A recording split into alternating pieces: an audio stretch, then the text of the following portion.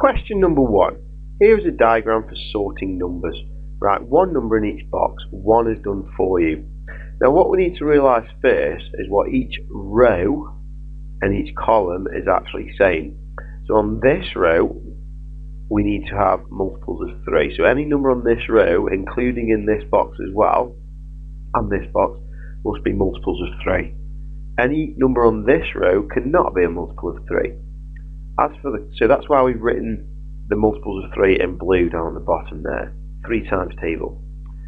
The columns, in this column, we need multiples of 5, so that's this box and this box. And in this column, we need multiples, uh, numbers which are not multiples of 5. So not in the 5 times table, which is why we've written out the 5 times table in orange down here. Obviously this question is a really great idea if you do make sure you've learned your times tables. So let's take one box at a time. So in this box here, we need something that is a multiple of 5, so is in the orange list, but is not a multiple of 3, so not in the blue list. So let's think about things that we cannot have. So we can't have 15 because 15 is in the blue list, it is a multiple of 3. And we can't have 30 because 30 is also a multiple of 3. And you've got to be really, really careful because 45 is also a multiple of 3 because it's 3 times 15 and 60 is also a multiple of 3 because it's 3 times 20 so we couldn't actually have them either.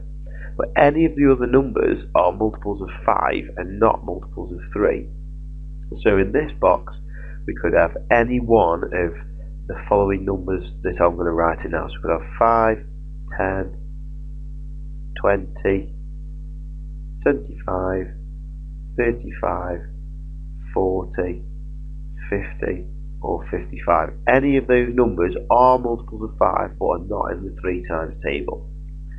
This box up here, we need to have something that's not a multiple of 5 but is a multiple of 3. So it's got to be in the blue list but cannot be in the orange list. So is there anything that is in the blue list that is also in the orange list? Well, we can't have 30 because that is a multiple of 5. We can't have 15 because that is a multiple of 5. But any other of these numbers in the blue list we could have. So we could have 3, 6, 9, 12, can't have 15 because that's a multiple of 5. But we could have 18, 21, 24, 27, 33, 36. Obviously you don't have to write all of these, you just have to pick one. But any of these purple numbers here are multiples of 3, but are not multiples of 5. Finally, we need not a multiple of 3 and not a multiple of 5. Well, that's quite easy you just need to pick a number that's not in either list. Okay, so it can't be in either list. So, for example, the number 1 is not in either list. The number 2 is not in either list. 3 you can't have because that is in this list, but 4 isn't in either list. Can't have 5 because 5 is in this list. Can't have 6 because 6 is there. 7 is not in either list. 8 is not in either list. You can't have 9 because 9 is there. Can't have 10 because 10 is there. 11 is not in either list. 12 you can't have because it's there. 13 you could have. 14 you could have. 15 you can't have because 15 is actually in both lists, there and there. Now there's no need, to, you could go on all day, but there's no need because we've got several options there that we could have.